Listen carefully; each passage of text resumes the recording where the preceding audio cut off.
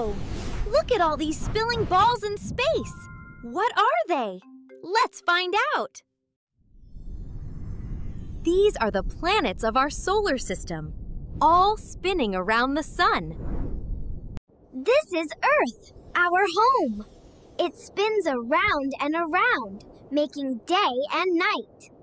Every planet spins on its own and also orbits the sun.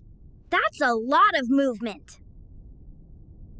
Some planets, like Jupiter, spin very fast. But others, like Venus, are slow spinners.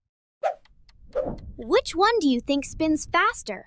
This big planet or this small one? When Earth spins, one side has day and the other has night. Spin, spin, spin. Because Earth spins at a tilt, we get seasons spring, summer, fall, and winter. It's like the planets are dancing in space, each with its own special spin. Planets never stop spinning and orbiting the sun. Thinko Kids! Learning is fun!